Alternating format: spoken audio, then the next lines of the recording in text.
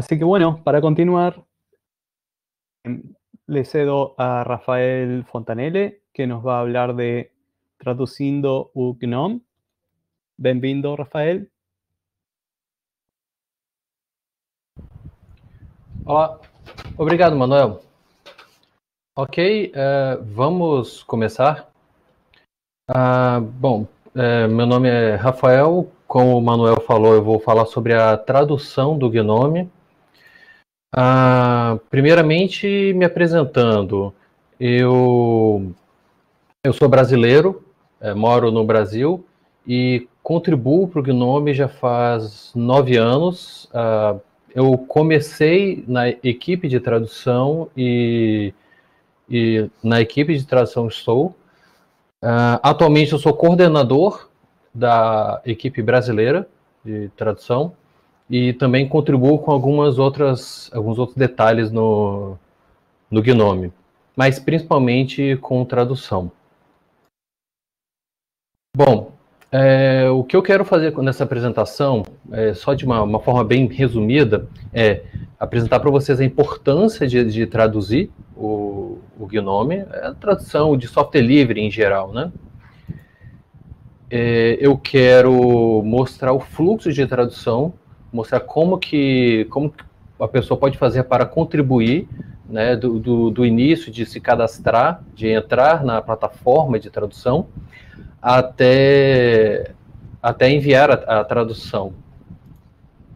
E, por fim, eu vou mostrar também algumas ferramentas e alguns recursos que podem ser usados nesse processo para facilitar, né, para que a tradução não seja uma, uma, coisa tão, tão complexa assim. Bom, uh, e aí uma outra coisa é, eu pretendo ao final mostrar um, um exemplo, né, eu, eu, eu quero, eu vou puxar minha tela, vou compartilhar minha tela, e, e aí eu vou mostrar como é que normalmente se faz essa tradução.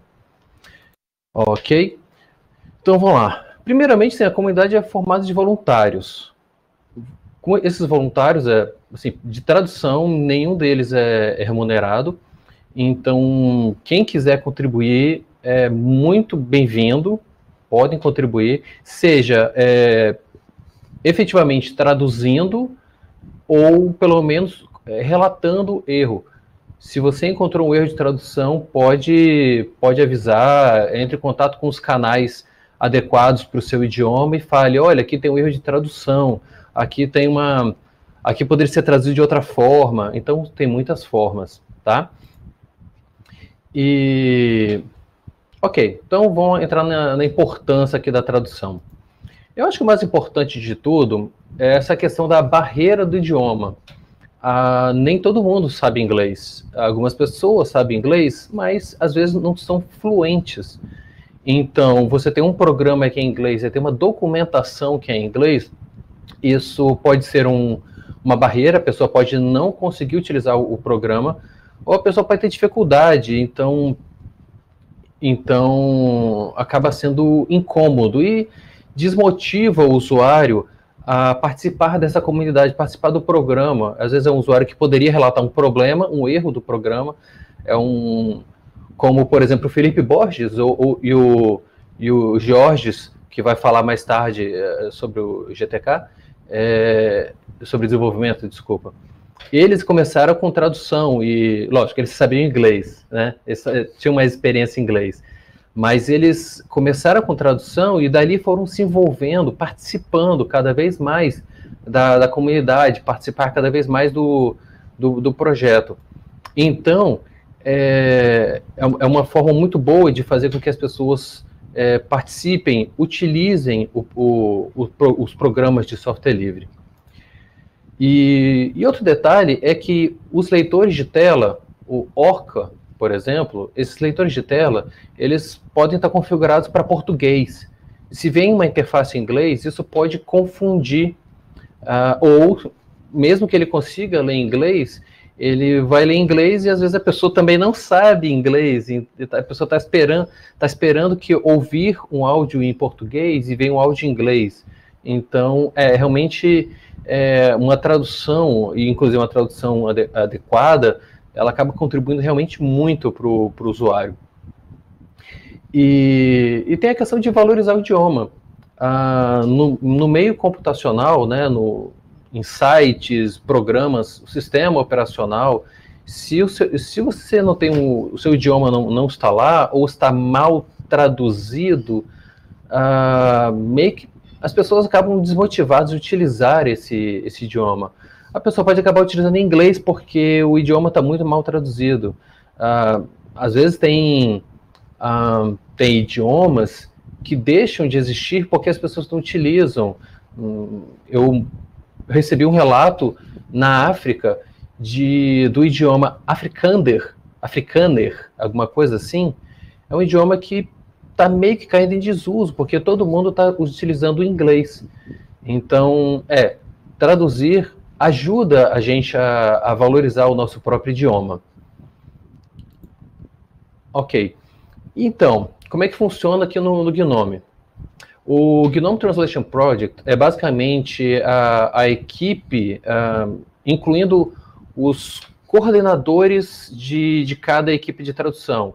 Eu sou coordenador do, do, português brasileiro. Não estou falando de mim, eu estou falando do, uma equipe que coordena esses esforços, que coordena o, a infraestrutura da, de tradução, que coordena as equipes, todas as equipes que, que, tem, que permitem os freeze requests, né, quando está perto de um lançamento, eles podem é, autorizar ou não que uma alteração que adiciona uma nova, uma nova mensagem de tradução seja implementada agora ou somente depois do lançamento.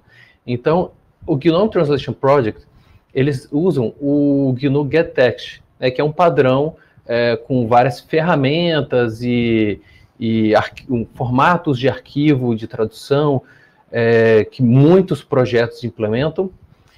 E, bom, e eles coordenam esse, esses esforços por meio do Demedlies. Demedlies é uma plataforma, é um site que tem na infraestrutura do Gnome, e, e é por lá que, inclusive, nós, coordenadores de, de equipe, de coordenadores de, de idioma, é, nós é, coordenamos os trabalhos de quem está traduzindo, o que, que tem para revisar. Desculpa. Então, é, é lá que, que é possível baixar os arquivos para tradução, lá que o tradutor vai encontrar o que tem para ser feito, pode baixar esses arquivos, traduzir, aí depois eles enviam de novo para o Daemon Vamos entrar mais em detalhes disso aí. Só um momento.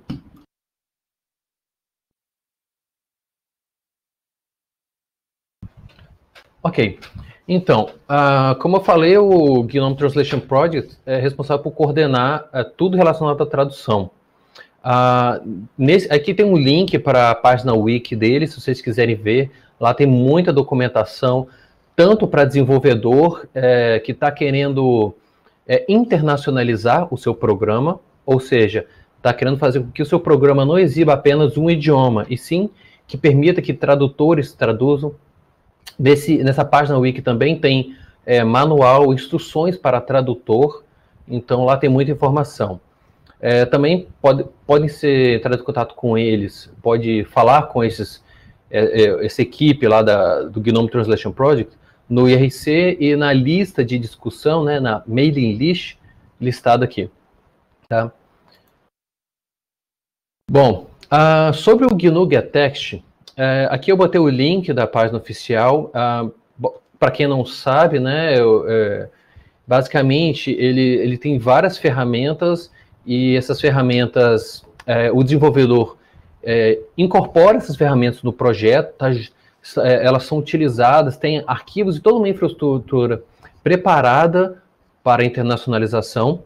E aí, com isso, é, são gerados esses arquivos POT quer dizer em inglês Portable Object Template. Isso aqui é o Portable Object. Basicamente, esse aqui, esse PO, é o arquivo onde o tradutor vai fazer a sua contribuição. O tradutor vai traduzir aqui nesse arquivo e esse aqui só serve para é, ter o modelo das mensagens, de forma que quando uma mensagem mais nova aparece, esse arquivo uh, vai ter as mensagens mais novas. Você mescla essas mensagens para que esse aqui seja atualizado. Tem as mensagens mais atuais. Esse ponto .mo é, é o arquivo de tradução compilado. Não, os tradutores não mexem com esse arquivo. E esse arquivo aqui vai ser gerado durante a compilação do programa, de forma que o tradutor vai contribuir com esse arquivo atualizado e quando o, o, quando o programa for compilado, esse programa aqui, esse arquivo .mo será instalado no, para o usuário. Ok, e esse, esse formato gettext tem vários. É, ah, eles são arquivo textos, tá? Esses aqui, esses dois. Eles são arquivos textos de forma que qualquer editor consegue abrir. Editor de texto, o Nano, VI, Gedit, e também tem editores especializados. A gente, eu vou mostrar um, um, um especializado que facilita muito a vida do tradutor. E, e aí a gente tem esse GetText, ele, ele disponibiliza algumas ferramentas que são úteis para o, podem ser úteis para o tradutor e para alguns casos são fundamentais é, para o desenvolvedor. É, só dando algum exemplo, esses arquivos que certamente vocês têm no seu computador, uh, que serve para formatar, para compilar e gerar o arquivo .mo, esse aqui serve para atualizar o arquivo PO a partir do POT, ok? Então, esse aqui é o GetText, ele está sempre disponível quando a gente está falando em tradução. E, bom, sobre o Demandlies, aquela plataforma, eu é, coloquei aqui o, a URL dele, é, quem quiser acessar depois para conhecer. Eu vou passar por ela para o que vocês conheçam. Ah, e aqui, basicamente, a explicação dele, né? Uma, uma, um aplicativo web é, no que o Gnome utiliza para gerenciar. A, a, localização e tradução são similares. Eu não vou entrar em detalhes aqui porque são semânticos assim, mas vou me ater ao que mais importa aqui para, o, para a questão do Gnome. Mas, então, como eu falei, é lá que a, o fluxo de tradução é, é, é gerenciado. E, bom, o que, que é o Daemon né? Ele é basicamente uma. Ele é feito em Python com Django. Então, se você sabe Django, se você gostaria de aprender Django, quer contribuir com Django, Daemon pode, pode estar precisando de ajuda, melhorar as coisas. Um, ele apresenta as estatísticas de tradução. Como eu falei lá, conseguimos baixar os arquivos de tradução mas também conseguimos ver as estatísticas. Então, eu vejo que meu idioma já está 100% em determinada versão do Gnome, ou não, eu vejo que está faltando alguma coisa. Eu consigo ver que está 90%, então eu consigo saber que aqui eu posso traduzir para chegar ao 100% de tradução. E, como eu falei, lá, lá a gente gerencia a tradução, de forma que nós conseguimos é, com que o tradutor envie sua tradução e um, um revisor ele vai pegar essa tradução e vai fazer a revisão de forma que a gente evita, é, reduz pelo menos, erros de escrita, é, erros de entendimento de contexto, então a gente consegue atingir uma qualidade melhor na tradução. E, bom, o Damned Lies tem suporte a, a, a vários a, sistemas de controle de versão, né? Um, praticamente um, é mais utilizado o JIT hoje em dia, mas ele tem suporte a alguns.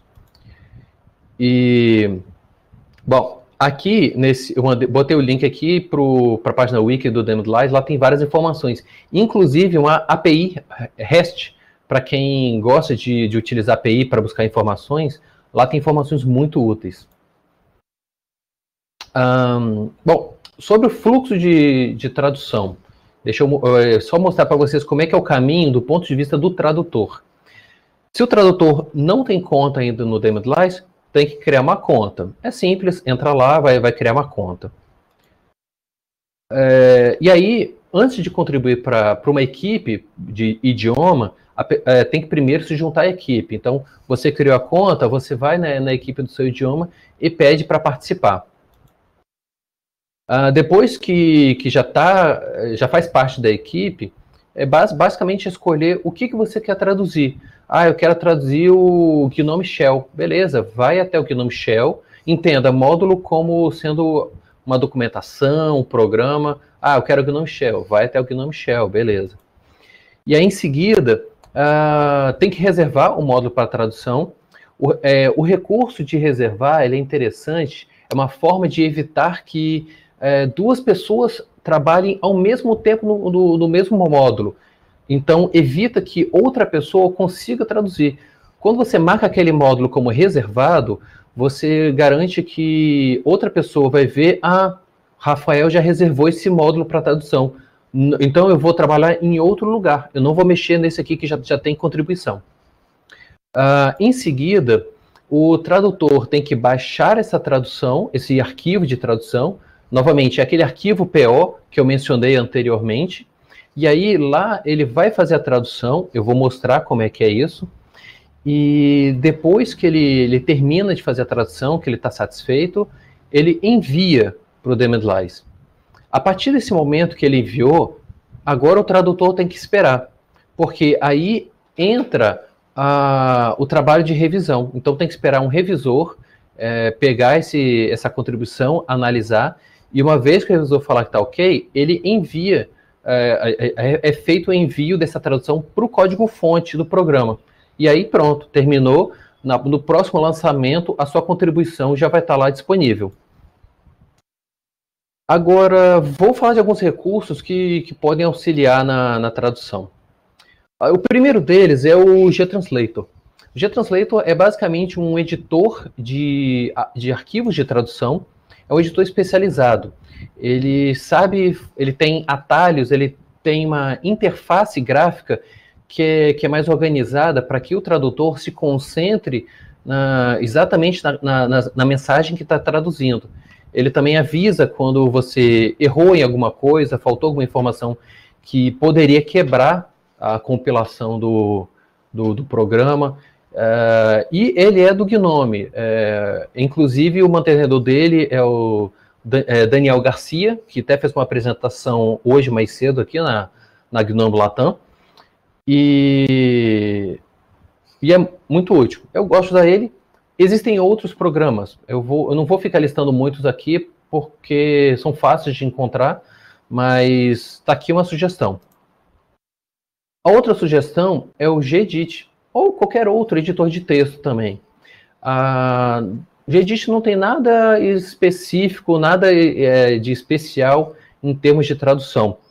Uh, exceto que tenha o realce de sintaxe, né? Então você aparece as cores é, mostrando o que, que, é, o que, que é tradução, o que, que é comentário, mas, bom, você pode traduzir por ele, se quiser, é, pode ser um pouquinho mais difícil em alguns, em alguns aspectos, mas sim, você pode é, traduzir usando o Gedit.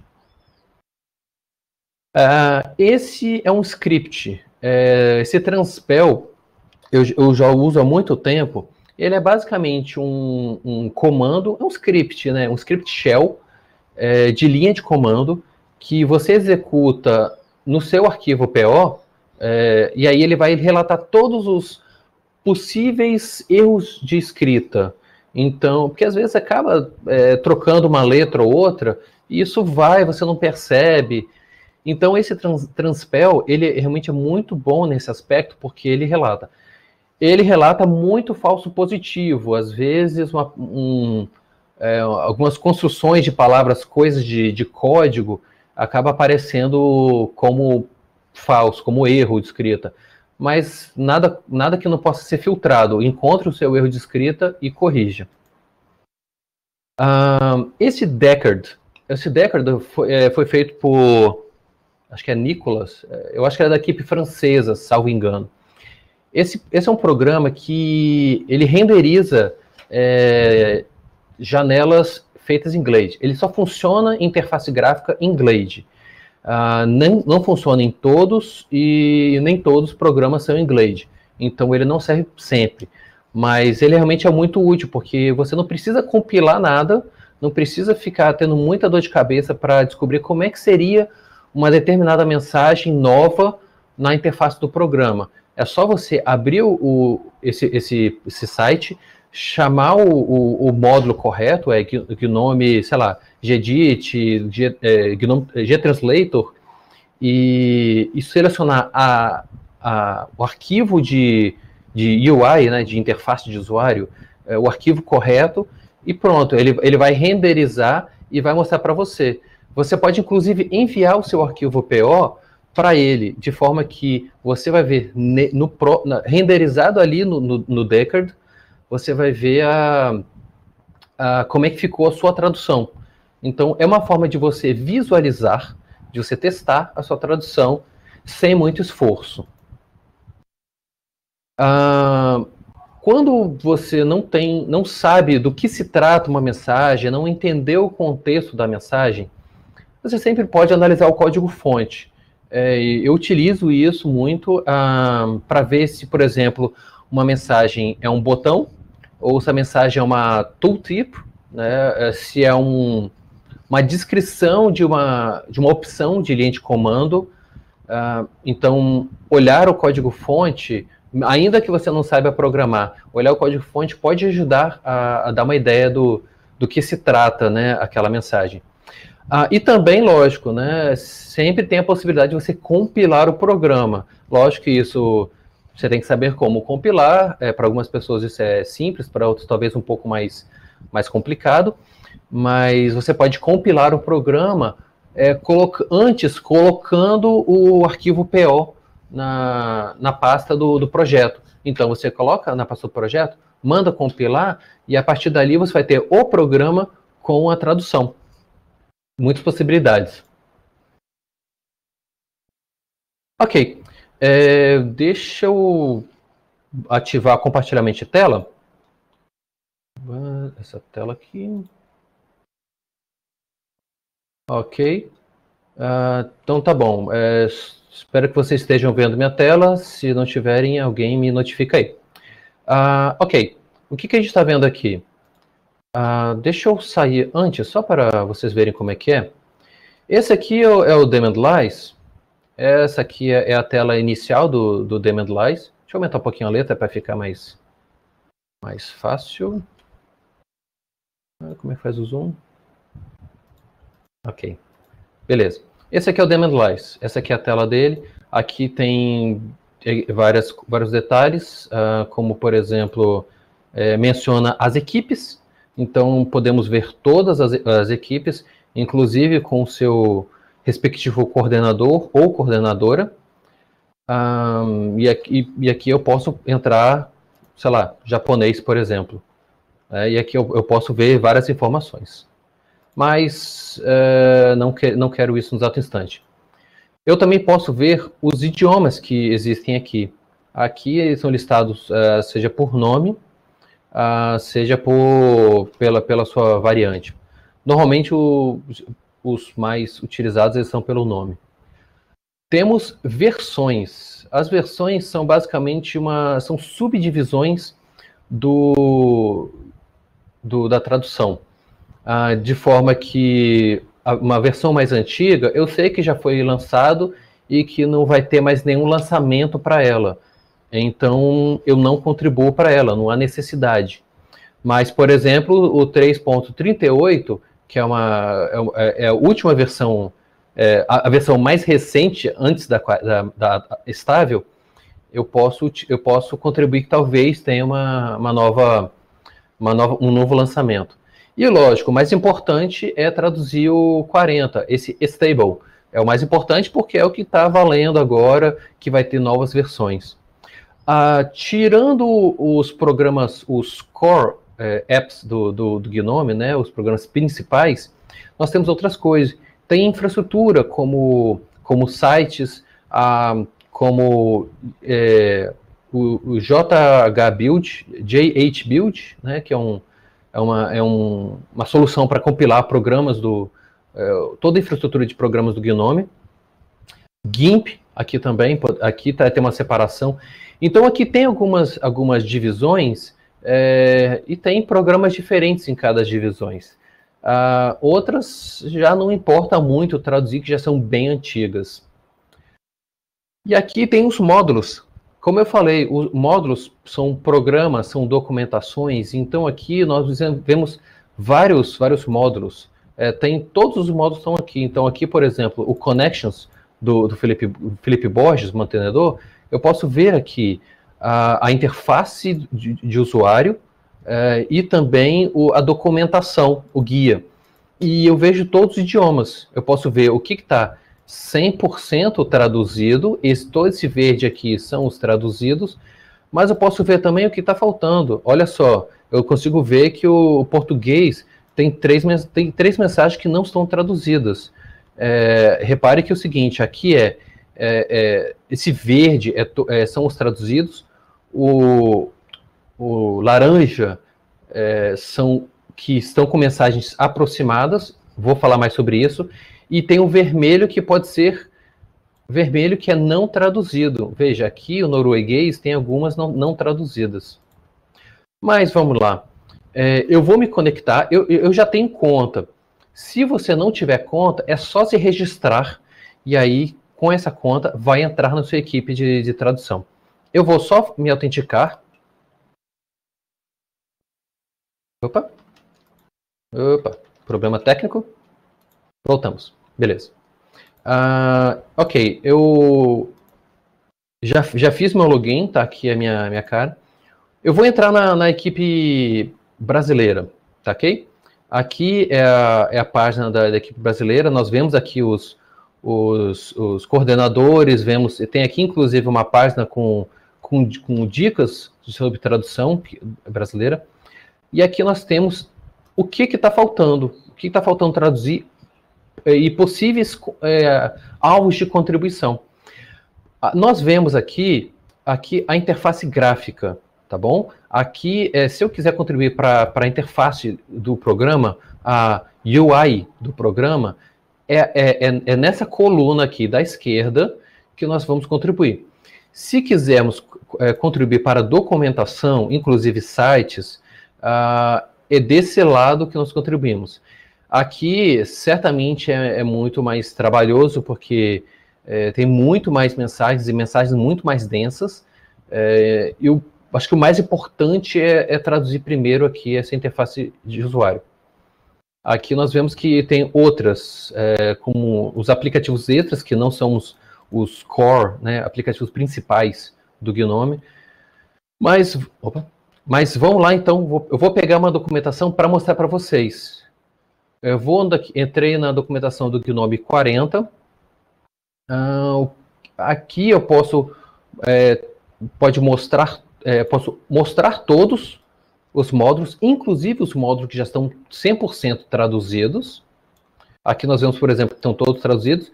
Então, a princípio, eu não preciso mexer com esses. Eu posso filtrar para apenas ver que, os que estão com alguma mensagem para traduzir. Ah, vamos lá. Eu vou fazer o seguinte: eu vou pegar o Epiphany, o navegador web. Ah, Aqui o tradutor vai ver as seguintes informações. Aqui você vê o módulo que está traduzindo, né, que eu, eu, cliquei no Epiphany. Vemos aqui o, o branch, né, o, o, ramo, ramificação, como quiserem. Pode ser master, master é o, é o mais recente. Talvez esse programa já tenha dividido em uma versão 40, na versão 3.38, outras versões. Eu sei que essa master é a 40 atualmente, porque aqui fala usado nas versões Gnome 40. Eu sei que se eu traduzir aqui, essa contribuição vai aparecer no Gnome 40. Isso que me importa. Um, aqui eu posso baixar o arquivo POT. O arquivo POT, como eu falei antes, ele é meramente um arquivo para atualizar as mensagens. Eu não preciso disso agora, tá? Por quê? porque eu já criei a tradução e essa tradução já é atualizada automaticamente pelo, pelo Daemon Então, eu sei que se eu baixar o arquivo PO aqui, eu sei que ele vai estar atualizado. Se eu baixar, traduzir e enviar, eu sei que essa contribuição vai aparecer totalmente atualizada na próxima, no próximo lançamento. Então, não tem problema. Como eu falei anteriormente, a gente tem, é, a gente tem que revisar, é, é, tem que reservar primeiro a tradução. Aqui nós vemos as ações. Antes que eu possa enviar qualquer arquivo de tradução, eu tenho que primeiro fazer essa, essa reserva, e aí eu clico em enviar. Feita essa reserva, todo mundo vai ver, se entrar nesse módulo aqui, vai ver que Rafael re reservou esse módulo para tradução. Então, agora somente eu posso enviar é, tradução. Mas antes, lógico, antes de enviar a tradução, eu tenho que baixar. Aqui é o arquivo PO. Eu vou baixar esse, esse arquivo para o meu computador. Mas reparem, é um arquivo texto, que aqui mostra diversas informações que podem ser analisadas com calma. Mostra as contribuições, tem um cabeçalho com diversas informações, que não importam no momento, e tem as mensagens. Essas mensagens, elas estão, aparecem em inglês como MSID e aparecem as traduções como MS, é, MSG STR. Então, por exemplo, podemos ver que aqui, essa mensagem aqui, ela está traduzida. É, aqui aparece o inglês. Eu não vou mexer nessa mensagem em inglês. É, essa mensagem em inglês é extraída do código fonte. Eu não toco nela. A tradução é feita exclusivamente nesse MSG STR. Mas, como eu falei, é, existem ferramentas que ajudam, que simplificam a tarefa do tradutor. Eu não vou traduzir isso aqui na mão, eu vou traduzir usando o G-Translator, que vai facilitar muito para mim. Vou abrir aqui o G-Translator. Ok. Esse aqui é o G-Translator. Eu vou abrir o arquivo de tradução. Eu baixei ele, então ele está em Downloads. Está aqui, Downloads. Abri. É, vamos lá. O que, que nós estamos vendo aqui? Aqui eu vejo todas as mensagens. Aqui, cada linha dessa aqui, ó, é uma mensagem, ok?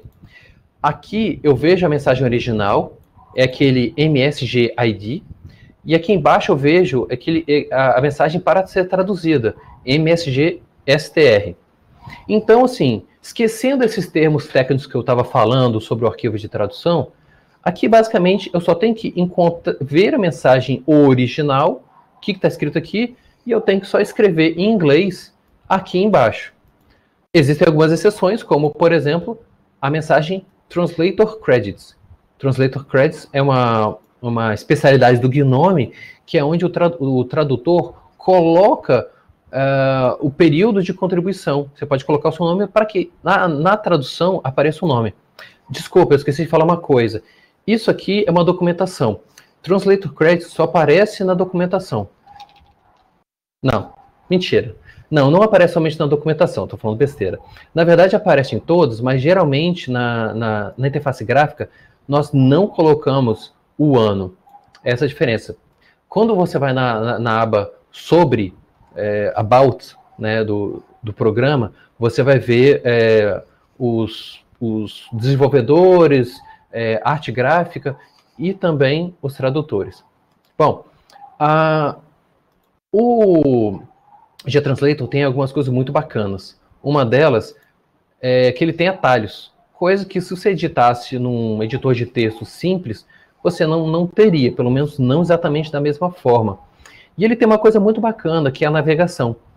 Se eu, por exemplo, é, usar o Alt e Page Up ou Page Down, ele vai navegar entre mensagens não traduzidas. Então, com ele eu consigo em vez de ficar procurando cadê a mensagem para traduzir, eu posso ir direto. E é isso que eu vou fazer. Eu vou apertar aqui Alt e Page Down. Olha lá. Foi direto para a mensagem para traduzir. Vamos observar uns detalhes. Olha a diferença. Tá vendo esse usando os gestos do mouse? Esse usando os gestos do mouse, ele não, ele só tá normal aqui, preto, sem nenhuma sinalização. Esse laranja aqui, que está meio que em itálico, né, está inclinado, ele é uma mensagem que está aproximada. Essa aproximada, em inglês, normalmente visto como fuzzy, é uma mensagem que parece muito com uma mensagem que já tinha antes. Quando, o, quando esse, houve uma atualização dessa mensagem, o programa, o, a infraestrutura do, do GetText sugeriu essa mensagem anterior. Então, assim, é um reaproveitamento. Essa, essa mensagem não está traduzida. Assim, é, dessa forma aproximada, ela não vai aparecer ao compilar a documentação. Ela apareceria em inglês. Mas, para mim, tradutor, eu não tenho que voltar a traduzir do zero. Ele vai mostrar para mim aquela mensagem como sugestão. E mais uma coisa, olha aqui no canto direito. Ele mostra quantos por cento aproximado da versão anterior é. Então eu sei que essa é uma mensagem muito parecida. Então eu vou, vamos lá, eu vou traduzir ela aqui. É, então, como é uma documentação, é, o texto é muito grande, então tem que realmente olhar com calma, com cuidado para não perder nada. Rafael, mais 10 minutos. Ui, ok, beleza, obrigado. Uh, ok, traduzir, mais uma.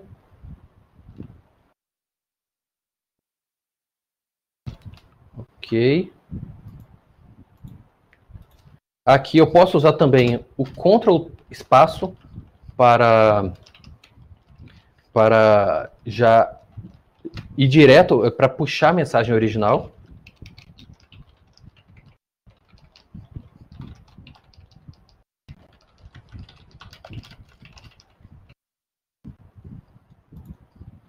E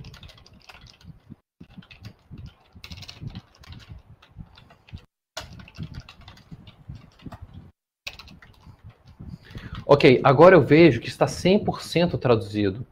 Ó, 180 traduzido e nenhuma aproximada, nenhuma não traduzido. Isso aqui eu vou corrigir porque eu sei que está errado. Ok? Eu terminei. Eu terminei a tradução. O que, que eu vou fazer agora? Agora é só enviar a tradução. Eu não vou notificar a equipe, mas você pode fazer isso aqui para notificar toda a equipe de tradução. Vou enviar o arquivo.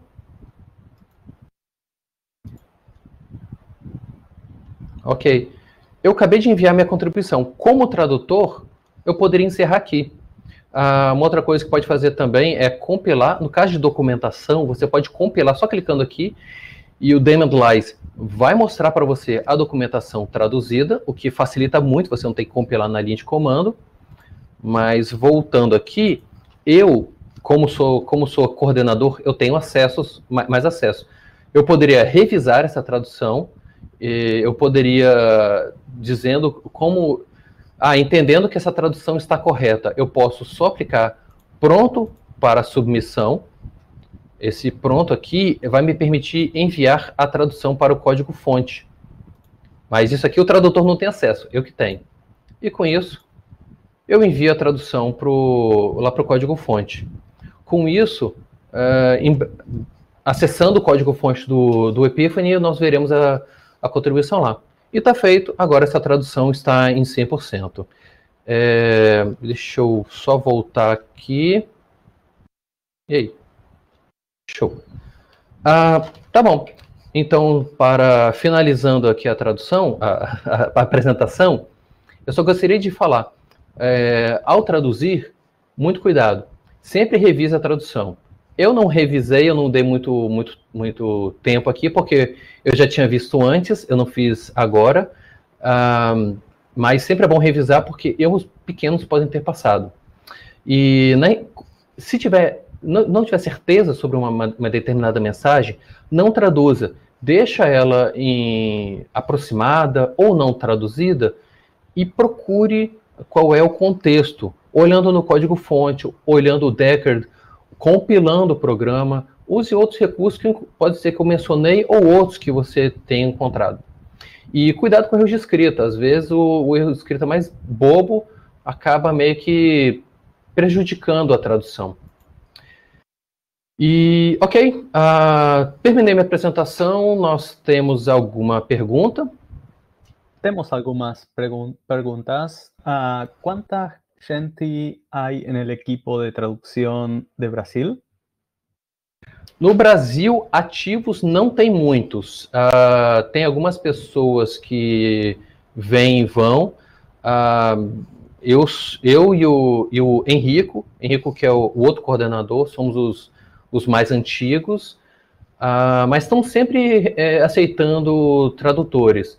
A verdade é que tem muita tradução, muita coisa para ser traduzido e às vezes a gente não tem o conhecimento técnico e às vezes atrapalha ou a gente não tem tempo. Então, quem quiser vir para contribuir, pode contribuir.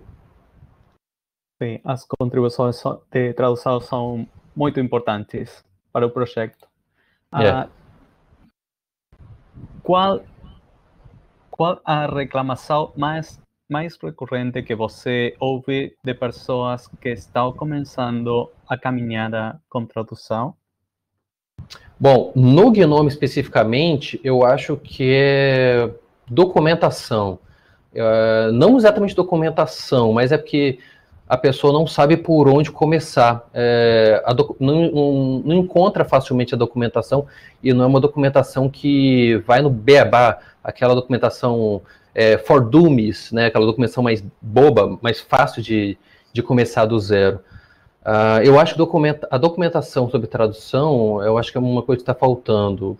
Eu acredito, eu espero que vídeos como esse ajude as pessoas a, a começar porque é, eu imagino que o começo é o maior bloqueio, né?